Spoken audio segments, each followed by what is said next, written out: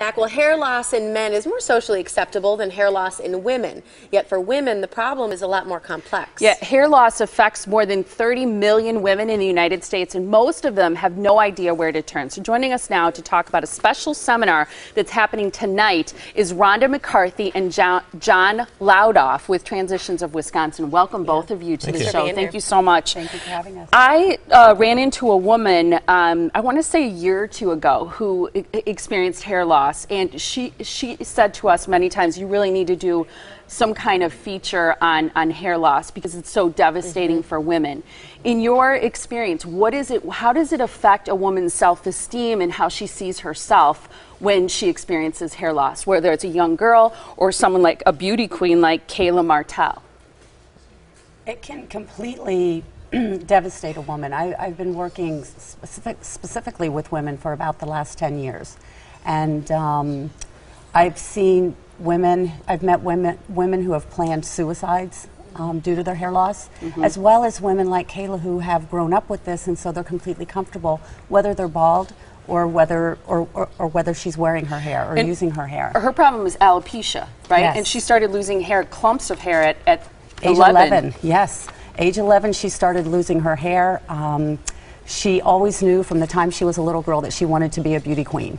And that was her goal, and she used to go to beauty contests with her mom, and that's what she wanted to do. And uh, she competed many times without her hair, which was extremely brave and unheard of at the time. Mm-hmm. And, uh, and as she tells her story, one day one of the judges came to her and said, Do you want to win?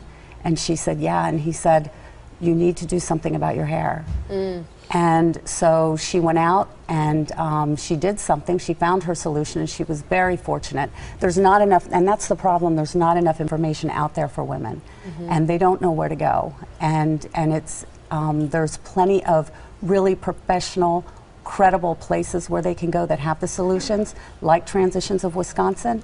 Um, but women just don't know that they exist. Mm-hmm. And so Kayla found her solution. She competed. She won 2010 Miss Delaware and then went on to be a finalist in the Miss America contest.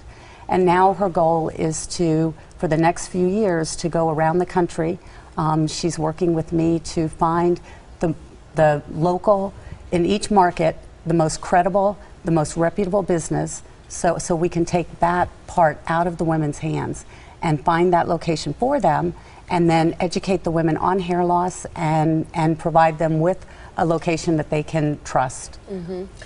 You know, obviously the social stigma against women losing their hair versus men is a big issue. Are there more complex issues internally, or is it the same issues that cause hair loss with women as with men? It can be a mixture of both. Uh, chemical imbalances do play a huge factor.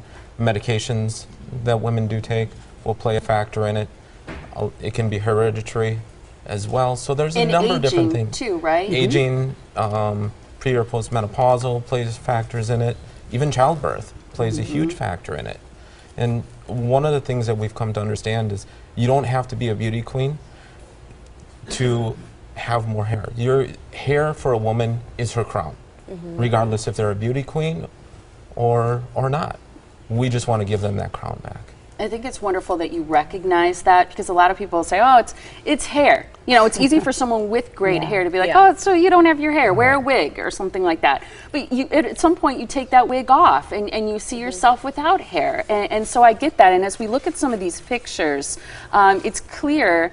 Um, in meeting you, Beautiful. that it doesn't just affect older women or postmenopausal women, although they suffer too.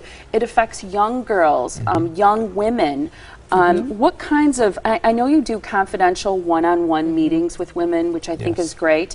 What kinds of solutions can you offer them? Well, one of the benefits of transitions uh, of Wisconsin or Transitions International altogether, we offer all the different options from non surgical treatments uh, to help patients in the earlier stages of loss. Being more proactive is very important. We can accomplish a lot more if you're more proactive. However, for patients who haven't been, there's non-surgical options, there's surgical options, and there's full cranial prosthetics for patients that are going through chemotherapy, radiation.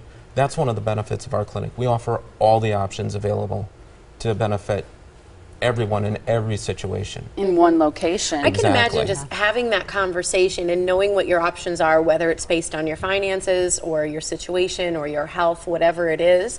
Just knowing what those options are can be a huge relief for a woman who is having self confidence issues with loss of hair or has lost all of her hair.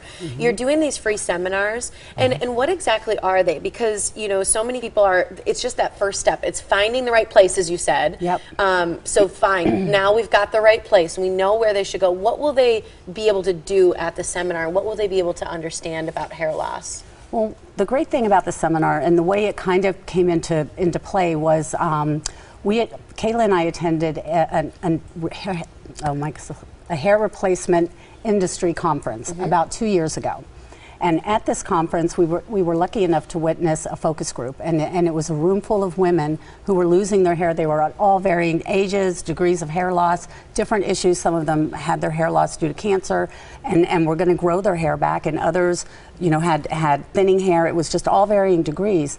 And so while there were a lot of different emotions there, the one thing that was constant in 100% of the women was that they didn't know where to go and they didn't know what to do. And so at that moment, Kayla and I met for coffee afterwards, and, and Kayla said, Rhonda, we have to figure this out. I mean, that's, that's what I want to focus on. I want to focus on going and, and finding that place and making sure that these women are well taken care of, that it's a location that has all the reputable solutions, and that they're going to treat them confidentially with respect and um, understand their emotions and, um, and, and provide them with an individualized solution. Sometimes it's not one solution, sometimes it's a couple different things that work for them. That's what I think is so wonderful is that it's a custom plan for each Yeah. person Yes. depending on their needs, their age, got it. their their background, the, the reason why they've lost hair. So I think it's wonderful you're doing this free seminar and I know Kayla will be there. Yes. If people can't go tonight, they can see her tomorrow um, during office hours at your location. So starting with the uh, free seminar tonight, it's women's hair loss. It's tonight from 6:30 to 8:30. The address is on your screen. It's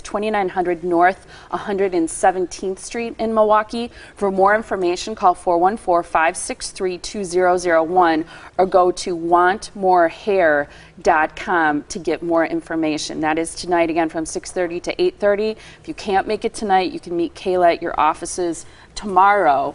Um, and people can also call for a free consultation and come in at, at a time of their choosing, right? Absolutely. Exactly. Wonderful to have you Absolutely. both. Thank you. Thank you. Appreciate it.